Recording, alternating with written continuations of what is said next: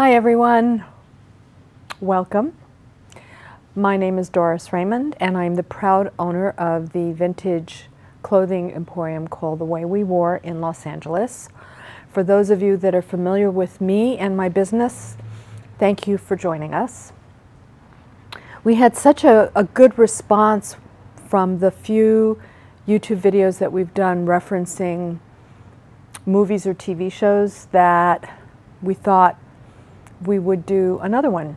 And today's episode is on Bridgerton, which is a Regency period. And the costume designer is was um, Ellen Mirojnick.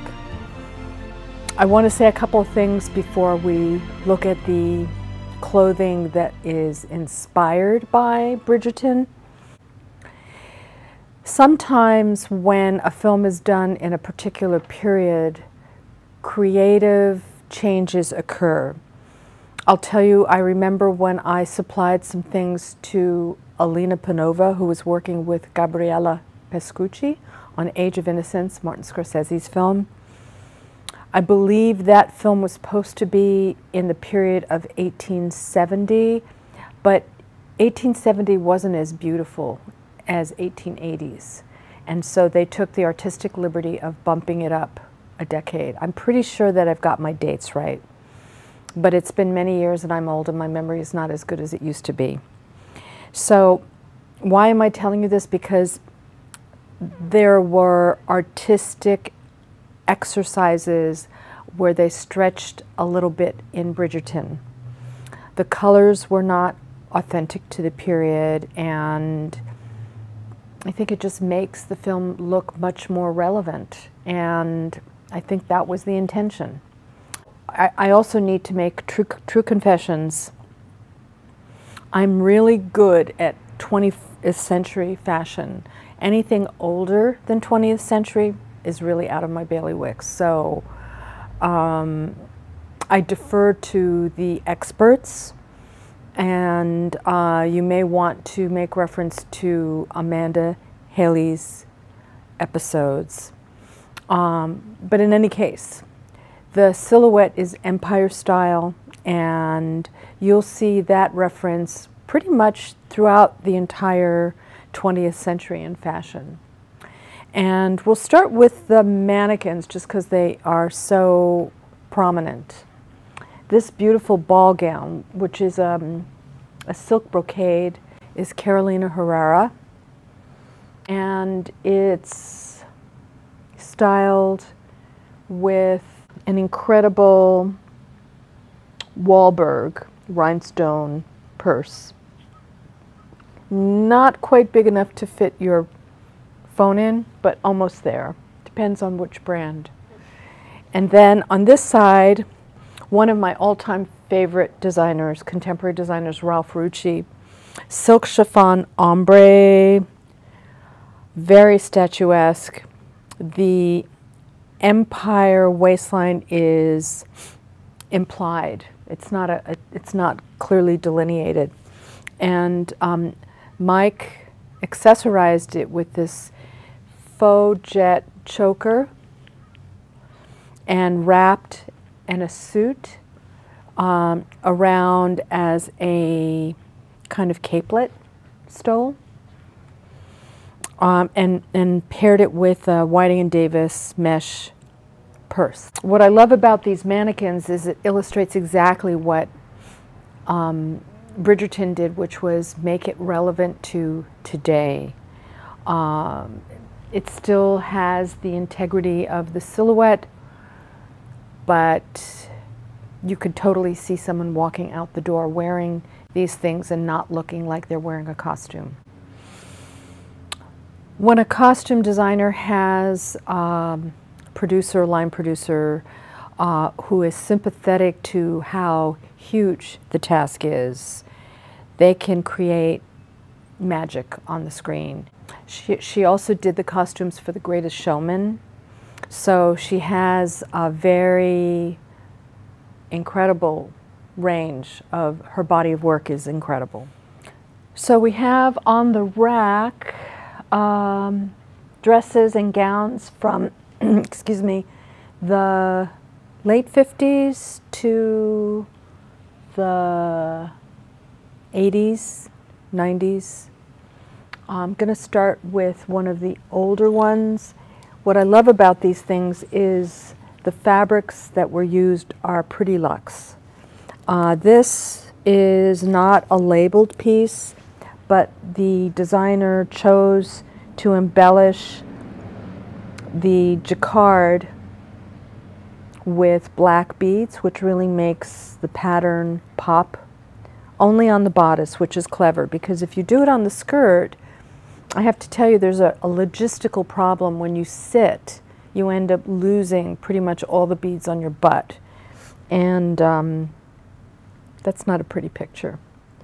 So, so this is a, a great dress.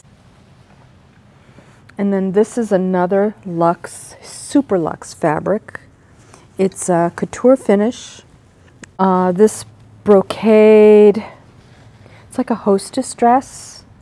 So because it has these slits on the side, you can make it empire, you can make it a defined waist, and it's a delicious color.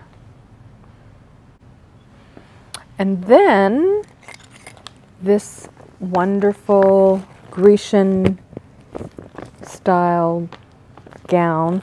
Fabulous for wedding dress. It's Malcolm Starr. For those of you that love vintage are familiar with Malcolm Starr's name. Uh, the little peekaboo uh, in the Empire line. You can see, here's the advertisement from Harper's Bazaar, 1968. If you've watched a few of these episodes, you know that I have a particular fondness for Ralph Rucci and also for Stavropoulos. Stavropoulos uses typically four to six layers of chiffon to create a fullness. And this gown is no exception. I love how he pairs this with Chantilly lace so you can see the beautiful floral pattern on the Chantilly lace. One of the best pieces on the rack, just because of the maker, is a Christian Dior haute couture gown, strapless, uh, with amazing Lesage embroidery beading. This has all the inner foundation work and it's a work of art. When you wear it, the bodice creates a beautiful silhouette and it's for someone pretty lithe. And then this incredibly embellished. It's also very heavy because of the bullion embroidery and the crystal decorations. And it's done on a really beautiful gold lame brocade. Um, getting my upper arm workout. 1960s, but you can see the clear definition of the empire waist.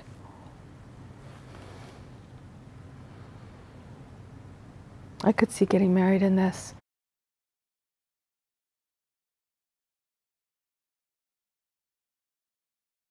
And then this silver gold lace, uh, strapless empire gown and shawl is Oscar de la Renta from the 1970s. Another great piece for a bride, possibly, or red carpet. Yeah. And then one of my favorite lame fabrics is this because it it's I mean you just you have to see the fabric up close. It's not a label that I'm familiar with. It's Posh, P-O-S-H. 60s, True Empire. It's a great walk, head turner kind of gown. And with these um, pastel colors in the weaving, you can really have fun accessorizing this one. And of course, where would we be if we didn't include Gunne Sax, Jessica McClintock. So a lot of the Gunne Sax dresses are not as much Regency as they are prairie style. I remember in the early 1980s when these were like the hottest things. And I lived in San Francisco, which is where Jessica McClintock manufactured her clothing. You couldn't walk down the street without seeing these. We have different variations. This one with a cotton velveteen and lace. But all of them have period details, like this one. And, and then these are not Gunne Sax, but they aspire to be. Hmm. Fun, almost Renaissance, but clearly 1960s and this flocked with the poodle sleeve detail.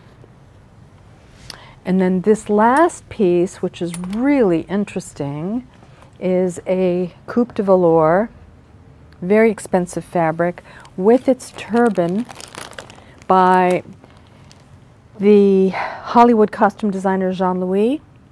And for those of you that are familiar with Jean Louis, he was married to Loretta Young, and this was actually Loretta Young's dress and hat. This was donated to a charity by Loretta Young with this car information card, and I ended up buying it from the charity because they liquidated their costume collection. They used to do fashion shows. So Lucky me. So, some of the comments that we get over and over and over and over again are people want to know what it is that I'm wearing. I refrain from putting attention on myself and my clothing because that's not what these YouTube ep episodes are about.